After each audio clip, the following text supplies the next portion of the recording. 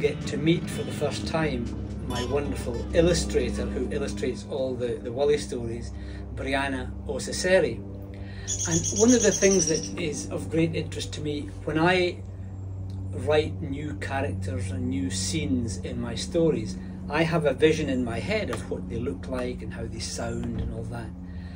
But it's really fascinating for me to see how another talented artistic spirit will will read those words and come up with visual illustrations for that. So I'm I'm interested to hear from Brianna how she goes about taking the the words that I write in in the books and turns that into visual illustrations. So uh, can you give me some ideas of how, how you go about that, Brianna? Yeah, for sure. So definitely when I'm first starting out, I have to read the text top to bottom, specifically focusing on the scenes that I will be illustrating or if if a scene sticks out to me in particular, I'll make sure to make a note. I'm like, that could be a really cool illustration. If he hadn't already pointed out already.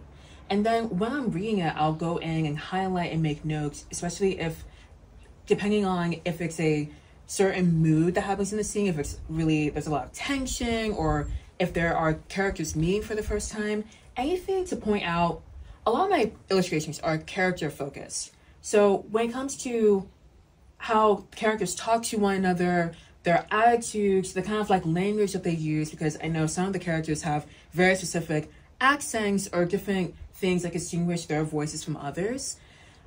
Anything that can help me figure out the personality of those characters, I will take on to the character designs because a a character that is like for example, Big Sandy, who is really like wise and regal, he carries himself very differently than a really like grouchy like Bluebeard, who is really cunning and kind of like tenacious, but then also has an evil aura, even though he's a much more complex uh, character than that.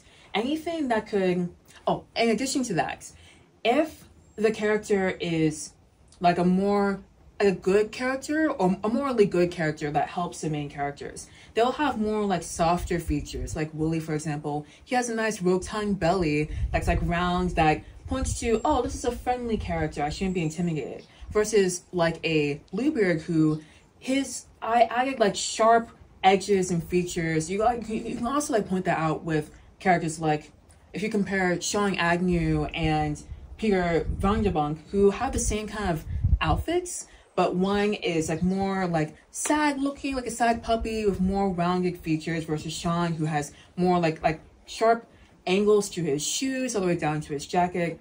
Similar to that, Bluebeard has really spiky, has a really spiky beard and kind of like a more intimidating, wider presence versus Big Sandy, who is more lean back and relaxed. He likes to ponder, so his pose is more of, of a wise person trying to walk along the beach. I love all those details you mentioned. And another thing I wanted to um, hear from you is how the kind of collaborative process we go through. That if we've both decided, okay, it'd be a great scene, let's have the scene of these four fishermen in a boat out in the loch about to trying to catch a, a fish. What you often do is then think of different angles, different view, and what you send me are what you call thumbnails. So talk a bit about how, how we go from the overall concept to then get what the actual composition of the image will look like. Mm, sure. So when I'm going about a scene, I try to think about what kind of perspective do I want the scene to be in, or rather, how can I play around with that with the perspective to kind of give a different emotion or feeling. For example, a lot of my illustrations I like to depict from the character from the back because it kind of gives everyone a as if they are in the scene with that character looking onto what that same character is looking at versus if if i want a scene to be from a certain character's perspective if the character is shorter or maybe an innocent fish then i i try to play around with what if that that view is looking up onto the scene as if you were that character so I, when i go about compositions i really try to either invigorate the as if the reader is in the scene or try to encapsulate the grandness of the environment. If the, for example, some some pages or illustrations will depict rolling hills or grand castles. So I want to really emphasize that grand scene. So I will take the perspective and put, pull it all back so that the characters themselves are quite small because they are insignificant compared to the grand environment that they are encased in. Yeah, I, I love that. So in, in Gome Fable 2, which is the backstory of Jade C. Dong and the Fisher Gome, how Jade fell out with Catalysmo, the great translator. In some of the early illustrations, Brianna did an incredible job of showing the detail of what Jade Seedong looks like, his hair and his costume and outfit, and this other Fisher Gome character. Um, and we see them in great detail.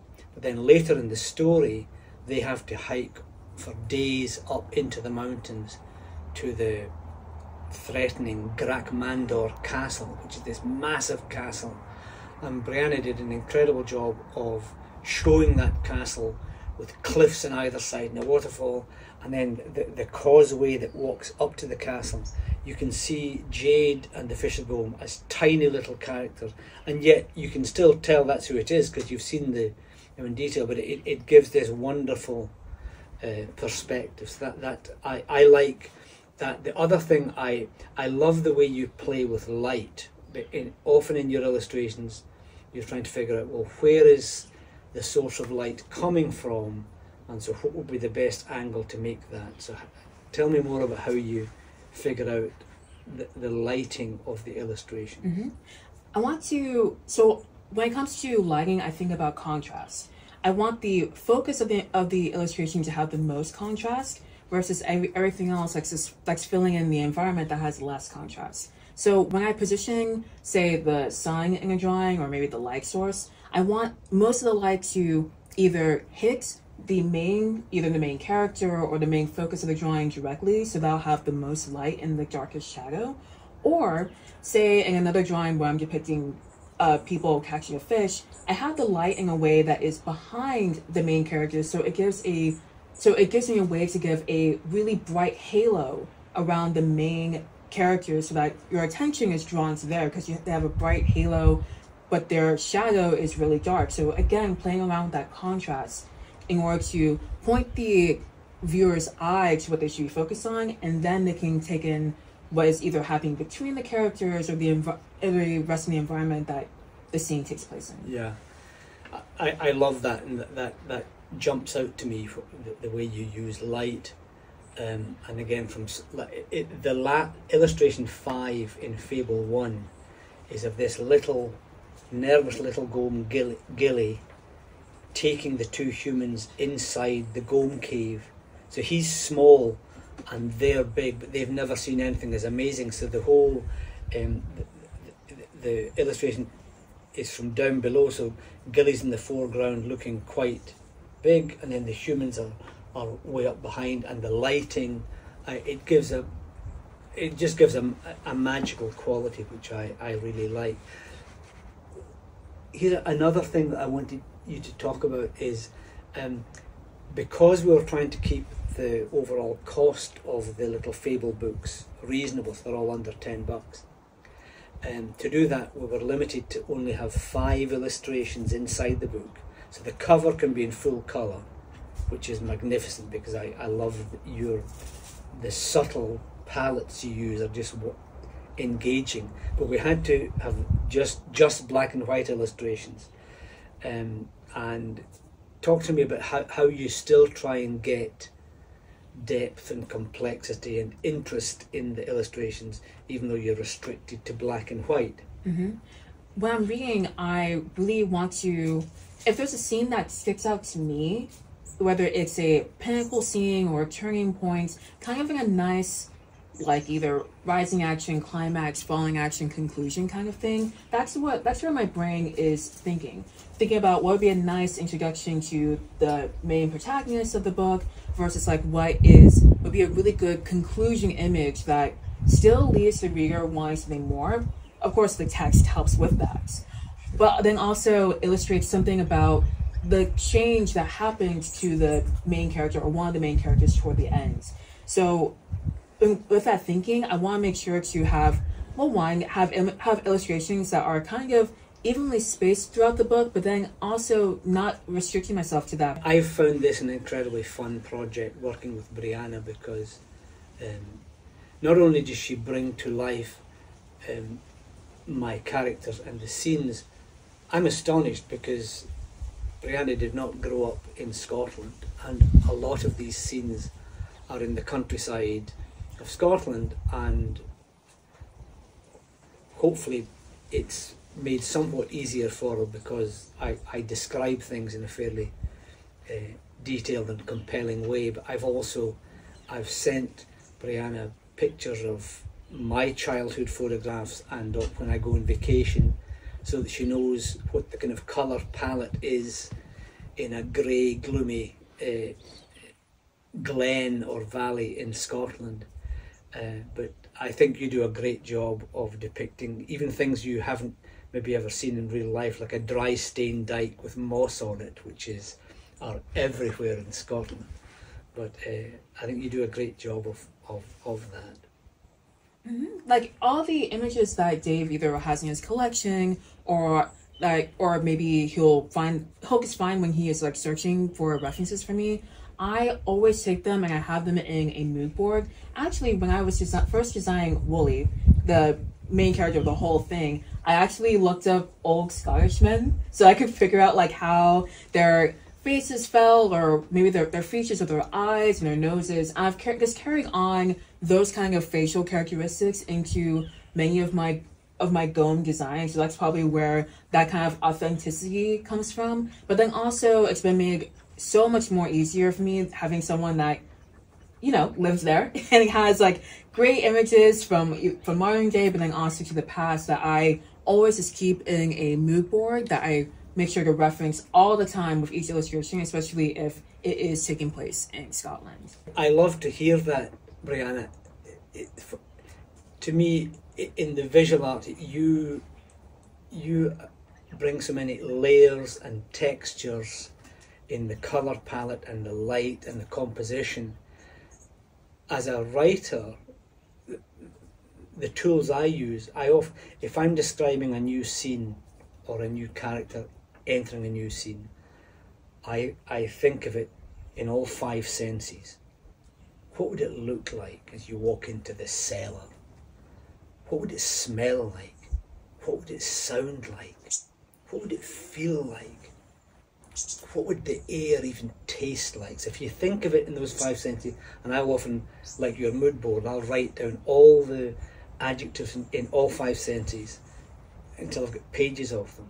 And then I don't use them all, but I'll, I'll pick them out and just think of phrases that just so that as a reader they just get drawn into what that looks and sounds and feels like. And the thing that really amazes me about your work is, even though you're only working in the visual medium, you still bring in the sound and the smell and the atmosphere and the taste of a scene by the way you describe it. So that's, eh, I don't know how you do that, but I, I, I, I appreciate that. Hmm.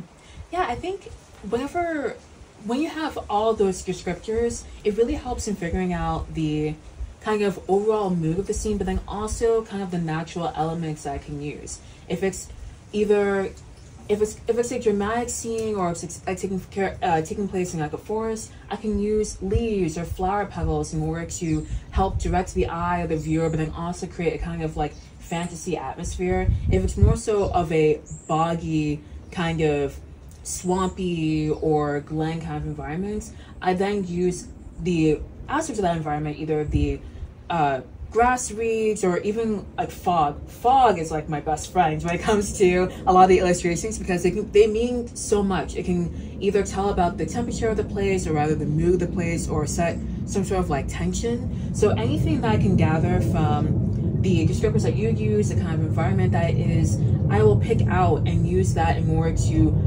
convey the mood what, convey the mood, but then also be authentic to what kind of environment that I'm in. So that's really my main thinking. But then, of course, if it's in a depending on what time of day, time of day it is, it will tell me where to place my light source, but then that will then therefore feed into how I position my characters and where for if I want certain parts of them or like their faces should be caught in the light, I need to make a reference to the time of day of the scene, which is very literal. But then I I try to p- creatively position the characters or play around with how I position them in order to uh, call attention to them or call attention to whatever they are observing in their environments. One of the projects that Brianna and I are working on between now and the end of the year is one I'm particularly excited about. I mentioned earlier that in the Gome, the Gome Fables are shorter, illustrated side stories from the main Wullie stories, and we've done each one uh, with beautiful colour covers, relatively short. They're all about 80 pages, 10, 11 chapters, and they have five black and white illustrations. However, the first five fables I've done actually form a kind of complete story arc. They're individual, but they connect with each other. And so I have hoped that we could put all five together in one book and have all 25 illustrations inside the book be in colour as well. And so i am hoping we can persuade my publisher to let us uh, produce a collector's edition book of all the first five fables with all the illustrations in colour. And I just wanted to hear from you, Brianna, if you've got any interest in doing that project. Oh, absolutely. it's funny because before I started on the Gome Fable project, I had actually been working exclusively in color for quite a long time. So when I was approached for this project to do it instead in black and white, it was kind of I had to rewire my brain and, and figure out how to do that again. But in reality, it was kind of it was kind of like really good for me in a way because with the less tools you have as an artist, the more creative you can be. The more limitations, the more creative you can be. So when it comes to now that I'm used to working in black and white, we are three and a half books in now. The idea of working in color again, it does bring me a lot of joy because I do love color. It's funny, it's funny to know that I. That's a, a Steller jay, which is annoyed that we're having a conversation because it wants to come down and feed on the suet. So this is just uh, he just flew away. He, he he'll wait till we've finished. So sorry to interrupt no, you. it's fine. Yeah, I was just I was just reflecting on when I first started drawing. I actually worked in black and white because uh, it was cheaper to work with a pencil and paper, or rather than like get any colored pencils. So it's funny how my origins came fo- came all the way back around for this Fable project. But in the meantime, I developed a sense for color, and I love how color allows me to convey mood and emotion, but then also highlight different details of someone's outfit that might not be too obvious in black and white with that limitation. So I'm very excited to go back and explore how all these illustrations will be even further revived with color, as, as if breathing a new life into them. Yeah. Yeah. Well, thanks. Uh, as I say, this is a wonderful ongoing collaboration, and um, I I should warn Brianna and my readers that I've got ideas for at least another. I've written the first five fables, three are published. Brianna's working on the illustrations for Fable 4. I'm starting on Fables 6 through 10 because there are just so many wonderful little nuggets of stories in the fantasy world of Wullie that I'm looking forward to bringing to life and then having you, Brianna, bring them to visual life. Mm-hmm. Oh no, you're telling me I get to work on this project for even longer time? One that I have enjoyed for two years now? Oh no, what will I do? No, I'm so excited for it. I'm completely down to working as as long as you'll have me, really. I've enjoyed working on these fables and the rest of illustrations and character designs for the Wullie series, and I don't intend on stopping anytime soon. That's great to hear. All right, thank you very much.